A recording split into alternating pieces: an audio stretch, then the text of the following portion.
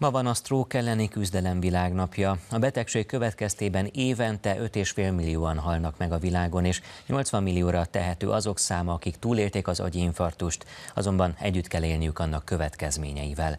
Hazánkban az agyvérzéses betegek felét az Országos Mentális Ideggyógyászati és Idegsebészeti Intézetben kezelik. Ez Európa egyik legnagyobb forgalmú akut stroke intervenciós centruma, ahol példaértékű az ellátás fejlesztése. A témát Titanilla járja körül vendégével. Így van, Narda is Sándorral beszélgetek a következő percekben az intézet neurointervenciós osztályának osztályvezető főorvosával. Jó reggelt! Jó reggelt kívánok, köszöntöm a kedves nézőket! Mi az oka annak, hogy ennyire sokan halnak meg sztrókban, illetve ennyire sokan kapnak sztrókot, mert azért itt hallottuk a számokat, hogy nagyon sokan túlélik túlélik ezt a rohamot, vagy ezt a katasztrófát? Ja, a stroke betegségnek van számos megelőzhető rizikófaktora, mm. és ezeknek a rizikófaktoroknak a kezelésében valójában nem állunk jelenleg jól. És ez nagyon hasonlít az infarktus rizikófaktoraira, tehát azok a tudalomig ismételt, most közhelyszámban menő kérdések, mint hogy sokat kellene mozognunk, oda kell figyelnünk a táplálkozásra.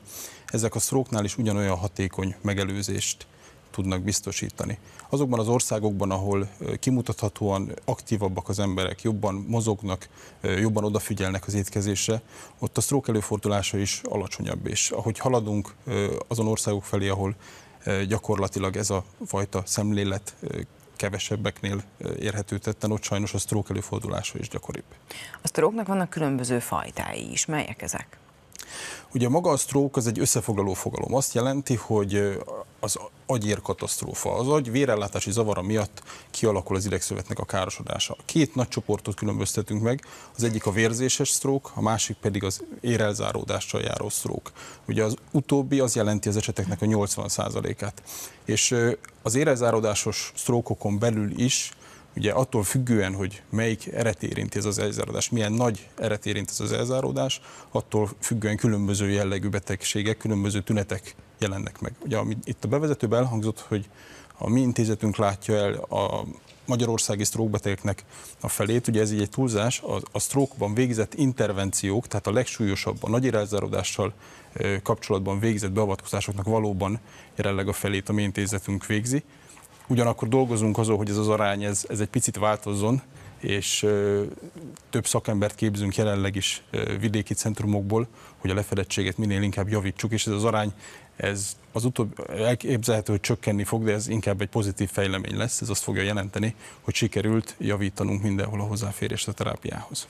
És ugye most van egy nagyon úttörő módszer, egy dia, gyakorlatilag egy diagnosztikának nevezhető új eljárás. Ennek mi a lényege, mit kell erről tudni? Az egy nagyon fontos dolog, hogy amikor ennek az, az ellátási formának a tervezését végezzük, akkor mérlegelni kell, hogy egyrészt hasznos az, hogyha centralizáljuk az ellátást, mert akkor nagy esetszámot operálunk.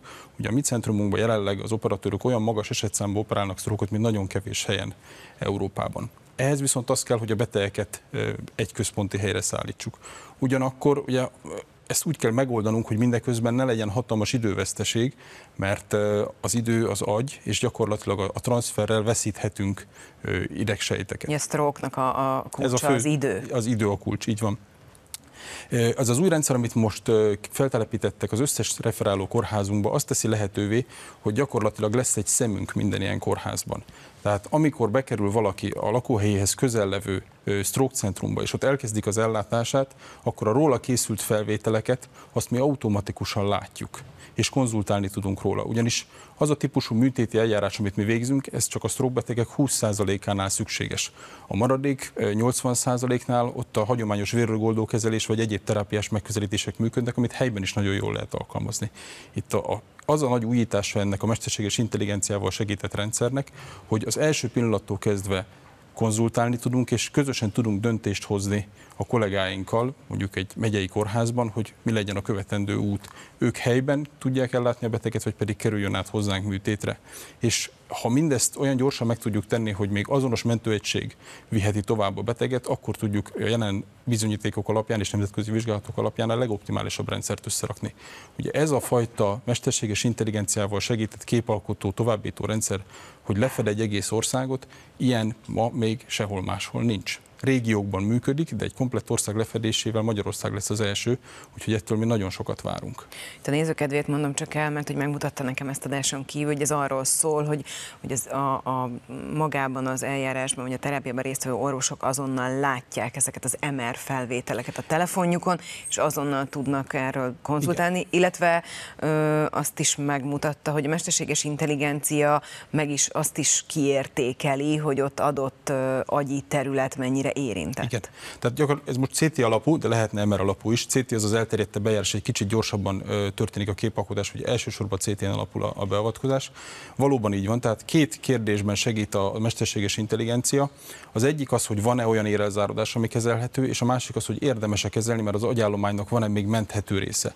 Ez azért nagyon érdekes, mert mindig arra ö, hivatkozunk, és azt hangsúlyozunk, ami egy fontos dolog, hogy az idő agy, és hogy nagyon gyorsan kell reagálnunk. Viszont az ideje mindenkinek máshogyan jár. Meglepő módon vannak olyan páciensek, akik még 24 órán belül is profitálnak, még vannak olyanok, akik sajnos már néhány óra alatt olyan károsodást szenvednek el, ami miatt gyakorlatilag nincs értelme műtétnek. Ez a szoftver abban segít, hogy adott esetben a később érkező betegeknél is végigfuttatja az algoritmust, és ezek között a betegek között is azonosítja azokat, akik profitálni tudnak a műtétből. Tehát megnyújtja az érzékelés idejét, viszont felgyorsítja a döntéshozatalt.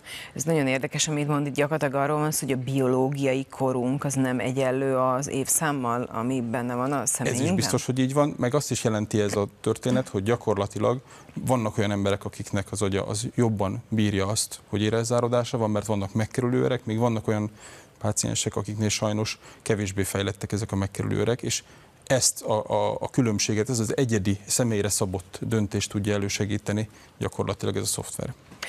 Ami nagyon fontos, hogy ma van a elleni küzdelem világnapja, és a világnap idei üzenete az, hogy a tünetekre szeretnék felhívni a figyelmet, hogy a környezet figyeljen oda a tünetekre. Ez miért olyan fontos?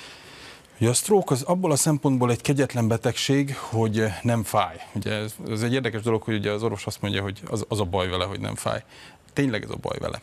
Tehát, hogy úgy tudnak kialakulni nagyon súlyos tünetek, hogy maga a páciens erről adott esetben nem is vesz tudomást. Létezik olyan stroke, és nem is ritka, amikor a tünet része az, hogy bár a betegnek a teljes baloldala nem mozog, de ezt egyáltalán nem veszi tudomásul a páciens. Tehát ő azt mondja, hogy ő teljesen jól van, az bár nem tud fölülni. Ignorálja. Az agy ignorálja gyakorlatilag. És ezért nagyon fontos az, hogy odafigyeljünk egymásra.